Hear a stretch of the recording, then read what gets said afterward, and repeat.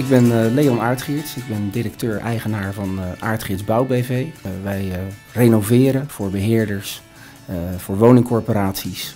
Dit pand had een functie als kantoorpand. dat is in eigendom geweest van de Rijksvastgoeddienst. Is altijd gebruikt als een belastingkantoor. En wij zijn nu druk in, in voorbereiding om daar iets moois van te gaan maken. Wij gaan dit pand transformeren tot woningbouw. Een van onze slogans is wij bouwen voor mensen. Dus wij gaan ja, deze locatie ontwikkelen voor mensen. Dat worden appartementen van uh, rond de 70 à 100 vierkante meter. Nee, wij kijken ook naar duurzaamheid. Dat is met een pand als dit uh, wat lastig om te realiseren. Als je denkt bijvoorbeeld aan zonne-energie, heb je een groot dakoppervlak nodig. Uh, maar als je bijvoorbeeld naar in de Boogaard kijkt, dan zie ik daar ongeveer 60.000 vierkante meter dakoppervlak liggen. Ja, dat is natuurlijk een gemiste kans dat daar nog niet naar gekeken is om iets te doen met zonne-energie bijvoorbeeld. Wij vinden Rijswijk een uh, goede gemeente, is een groeigemeente in Nederland.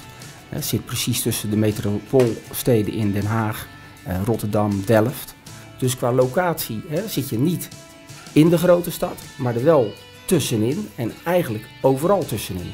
Rustig wonen, midden van de grote steden.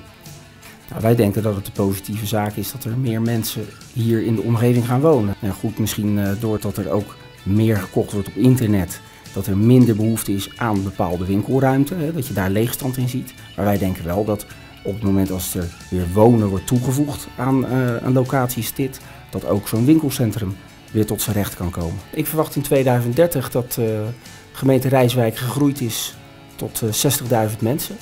Dat met name het in de Boogaardgebied een, een stadscentrum zal zijn waar gewinkeld wordt, gewoond wordt, maar ook gerecreëerd wordt. Dus dat betekent dat het winkelcentrum uh, wel dezelfde omvang houdt, maar waar andere functies aan worden toegevoegd. Dus uh, recreëren, wonen, winkelen, dat dat uh, gaat gebeuren in 2030.